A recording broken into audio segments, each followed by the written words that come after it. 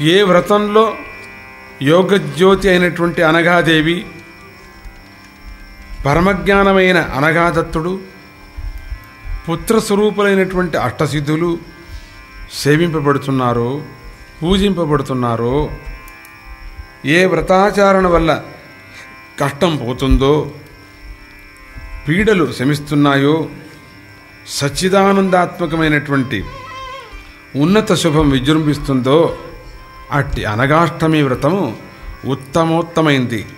భక్తుల యొక్క కోరికలను తీర్చేటువంటిది అనగా వ్రతము భక్తుల యొక్క వాంఛను సిద్ధిని సిద్ధించేటువంటి అనగా వ్రతము ఏ సమయంలో ఎప్పుడైనా చేయవచ్చు అని అని అంటారు.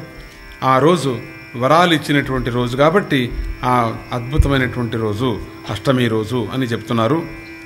ఏ వ్రతాచరణ వల్ల కష్టాలు పోతాయో నష్టాలు ఎన్ని సమకూరుస్తాయో సరిపోతాయో మళ్ళీ వాళ్ళు లాభపడతారో అటువంటి వ్రతము ఉత్తమమైనటువంటి వ్రతమే అనగాష్టమి వ్రతం అని చెప్తారు.